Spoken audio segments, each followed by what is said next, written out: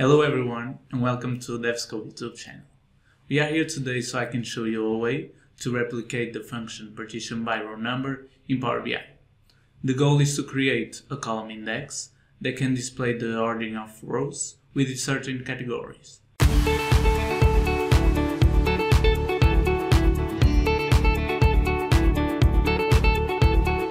Here we were able to order the country and the category uh, by the date. This is useful for tasks such as sorting, data analysis, and detailed reporting. But let me run it back a little bit. So, as you all know, partition by is a well-known SQL function that is used to group various categories so that we can later calculate multiple values. For instance, to calculate the total sales generated by the motorcycle uh, category. Row number is a function that generates number in ascending order and when used in conjunction with partition by will display rows in this order of one or more columns. Therefore, with these two functions together, we can arrange values by categories. Now that we review what are the function partition by and row number, we can pass to the practical part of this video.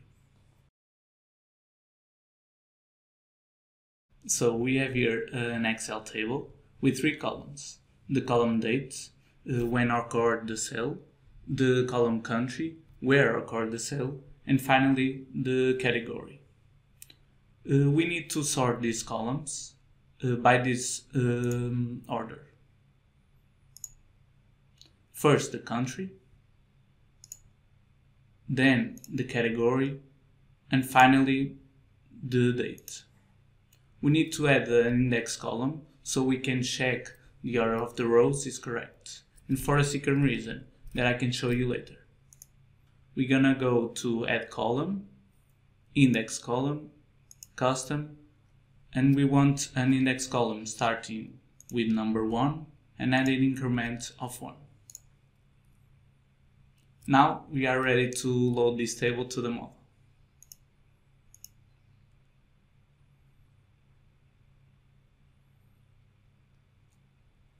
In the table view, we're gonna add a calculate column and with DAX code we can replicate partition by row number in Power BI. We're gonna go to new column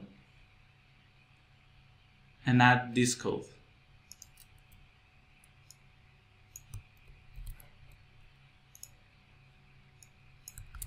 So we're gonna use the function calculate because we're gonna use two or more DAX functions.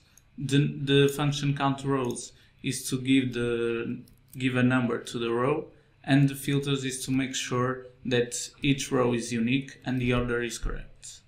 The first filter will make sure that the date of the row is always older from the row above and these filters will make sure that the row is unique when um, we have the same values to these categories.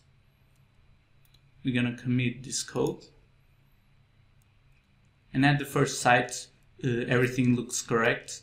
But if uh, we look closely we can see these numbers are equal and is not correct. But why this is happening? We can see that the date is the same the country is the same and the category is the same as well. So the DAX code cannot differentiate these two rows. So we need to add another uh, column to the DAX code so we can so the DAX code can see that these rows are different.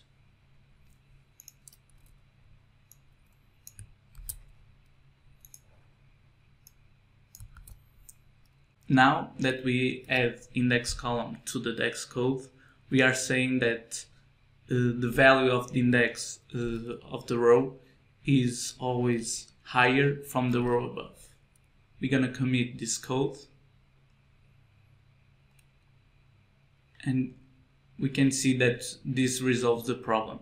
And this is a way to replicate partition by in Power BI. Hope this video helped and if you enjoyed please like and comment and don't forget to subscribe to the channel so you don't miss any tips. See you soon.